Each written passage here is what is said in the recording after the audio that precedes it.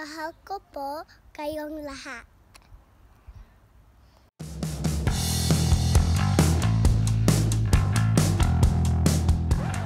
Hi everyone.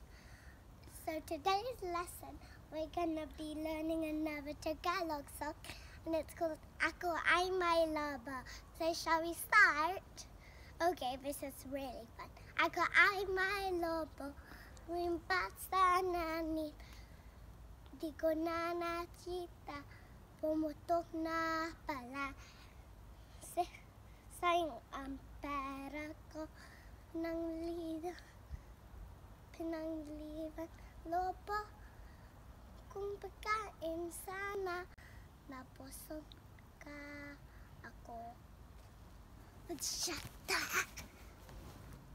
Basically, the song meant so I had a balloon, it flew up in the air, and it popped, and only if um, I had more money, I can get food instead of a balloon, so I will be more full, you know?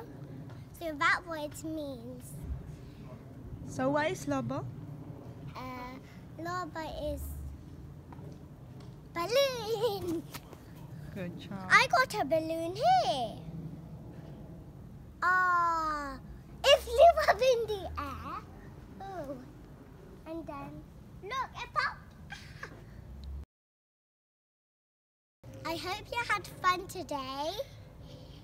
Because I had so much fun.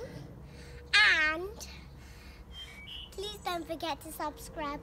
Click, click o- on the red button. Mahal ko po kayong lahat. Paalam!